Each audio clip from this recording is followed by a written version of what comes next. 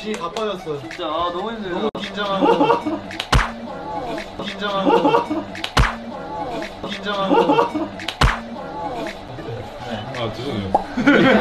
네. 네. real 너무 힘들어. 그냥 놀자. 2020년 가장 행복했던 순간은 이렇게 홍석이 형이 저를 안고 있을 때입니다. 역시.